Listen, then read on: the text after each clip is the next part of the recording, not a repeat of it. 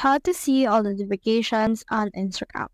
So in order to see your notifications, you can head over and click on this heart icon that you can see right here.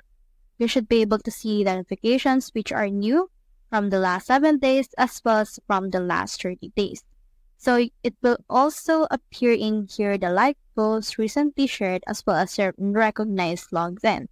So you can see right here that when you try to scroll down, it's only the people suggested for me to follow which means that on the last 30 days, this is actually the latest or the earliest notifications that we have. In that case, that is because Instagram automatically deletes those notifications from you. In order to get it, head over right here to your profile icon and then click on these three lines.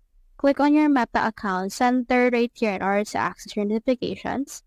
So these notifications that you can see right here is only just a notification setting that will turn off notifications or turn it on. So if you want to download the information that you have, you can head over right here to your Meta account center. So just wait for this to finish the loading process in order to open this Meta account center. In here, you can see this. Scroll down and click on this information and permissions. Click on this download your information. And then in here, just download or transfer.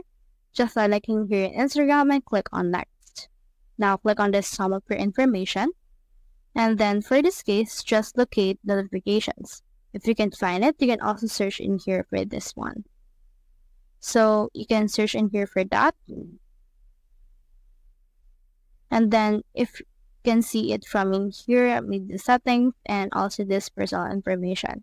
Once you have selected that, you can head over and then just try to click on this next option right here.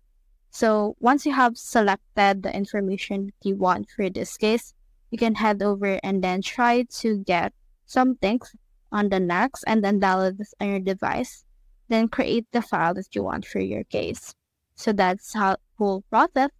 If you have known this, you can head over and then do this on your own. So that's how you see all notifications on Instagram.